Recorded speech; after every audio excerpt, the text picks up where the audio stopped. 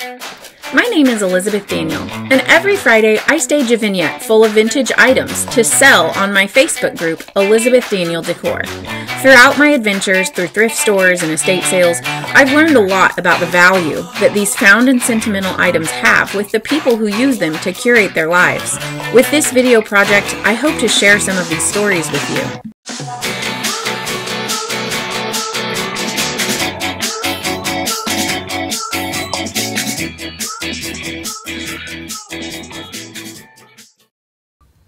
Chris on a bright spring day in 2018. She hopped out of a work truck wearing big, thick framed glasses, bright red enameled earrings, and a giant smile. John wasn't far along behind. They'd come to scope out a set of yellow vintage chairs I was selling, and we hit it off immediately. Turns out Chris and I share the hometown of Meriden, Kansas. They run a successful resale business in Topeka called Warehouse 414. It's in a large industrial building that's filled to the brim with some of the most luxurious furniture ever made. People buy pieces as collectors Mm-hmm. and they buy pieces as they just want to decorate their home.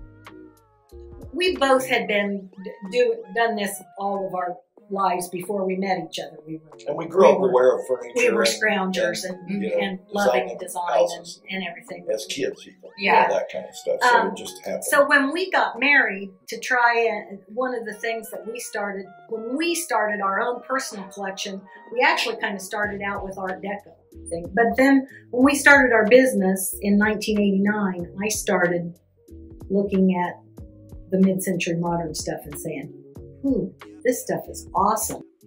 I never stick to any specific style or era when I'm setting up a picture. Chris seems to have a similar approach. She doesn't marry herself to any aesthetic. She just likes what she likes and she buys accordingly. When I'm out looking for pieces, I don't always know what that piece is. Mm-hmm. I just know I like its lines. I like the way it looks, Something and some there's something about calls that out to you. that that just if you could give advice to somebody who maybe wasn't like looking to resell, but just somebody who was looking to decorate their home, mm-hmm. like what would you say to that person about how to pick things out at a thrift store? oh follow your gut. Okay. If it call if if it if you're attracted to it, you should have it. Yeah. And it usually is. I, I used to tell my design clients that they can have grandma's rocking chair over here and somebody No, and it fits nothing in there. and another piece of something over here, those two pieces already have something in common by them loving them. So they'll You, work. you're, yeah, I like that. Chris brings loads of passion for unique pieces with rich histories. John's more pragmatic approach complements her. He looks everything over carefully and efficiently, noting anything that may need to be repaired, and then assesses how to do it. It's an art, really.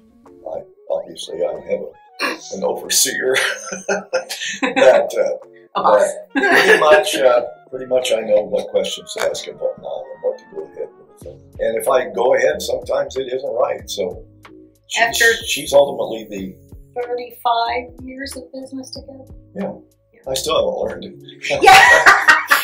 Know, I look at a piece and I think, oh man, that's perfect. We're going to get that. And I think all oh, it needs is all it needs is cleaned. All it needs is cleaned up, and it'll be ready to photograph. And he'll say, "Dear, what do you mean? All it needs is cleaned up? That's that's a water ring. I can't get that out with just cleaning it up, and you won't want that when you get ready to go Mm-hmm. photograph it. I've got to get that water ring out of there. And what about that missing veneer? I I look at It him looked with perfect when we saw it first. Yeah. I look at them with rose-colored Uh-huh. glasses, and then by the time It's just all trash. by the time he Not gets really. them, by the time he gets them, he's got a lot more work to do.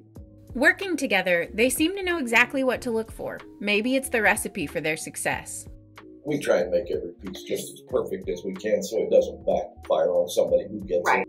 You The run-of-the-mill furniture now versus the run-of-the-mill furniture in the 50s and 60s, actually probably pretty comparable. If you're if you buy top of the line pieces now, Mm-hmm. you're gonna they're still around. pay, pay, pay more. They're they're out there. Mm-hmm. and the top of the line stuff from the 50s. But as a, a general rule, yeah, stuff doesn't last as long. The new stuff doesn't last as long as Right.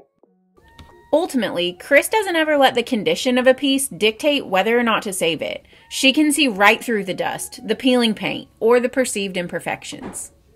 I can have a piece of glass that's signed Barb on the bottom, right next to my Venini vase. I don't care Mm-hmm. who did that if it pleases me Right. to look at it. Good. That's beautiful. Look at the cabinet over there. How Oh. many people would leave that that way? But you can't get that. Right. You Can't can't, recreate it. that. You And can't. Everybody doesn't want that. Yeah, and not everybody does, but I Make a new love the way that looks. Uh-huh. If something happens, I'll just cherish the Mhm.